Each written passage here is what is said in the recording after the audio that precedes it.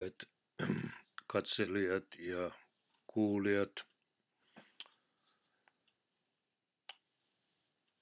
Hekla tulivuori saattaa purkautua millä hetkellä hyvänsä.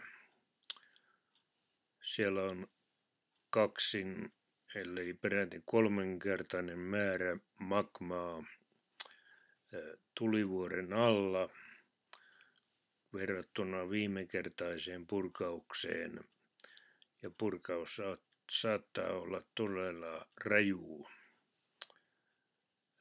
Islannissa seurataan tulivuoren liikkeitä ja